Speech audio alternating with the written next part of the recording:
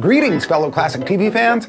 Gilligan's Island had a three-season run from 1964 to 67. Its theme song is one of the most recognizable ever, but did you know there were actually three different versions of it? A completely different calypso-style piece was written by the future Oscar-winning composer John Williams and exists only on the unaired pilot. The show's creator, Sherwood Schwartz, actually sings this one, which introduces the skipper, Gilligan, and Mr. and Mrs. Millionaire.